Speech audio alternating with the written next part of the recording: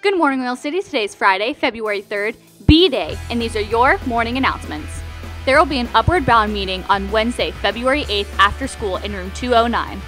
Earth Day shirts are now on sale. They can be ordered through February 14th. Please see Mrs. Whitmer, Mrs. McGarvey, Miss Carey, or Miss Purvis to order your shirts today. We will celebrate Earth Day and wear shirts on Friday, April 21st, since Earth Day falls on a Saturday. Each shirt is $10 each unless it's a 2X, then you have to pay $13.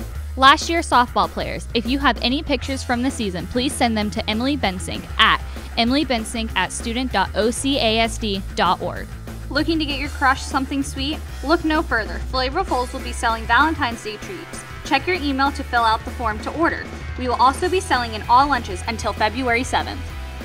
Attention all students, if you enjoyed watching Breakout on Fridays in Focus and you or a group of your friends enjoy solving puzzles or just looking for a challenge, then email James Amaro at jamesamaro at student.ocasd.org by February 14th to sign up.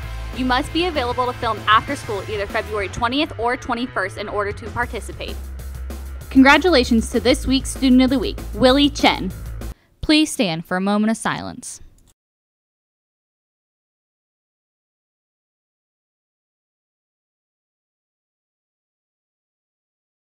I pledge allegiance to the flag of the United States of America and to the republic for which it stands, one nation under God, indivisible, with liberty and justice for all.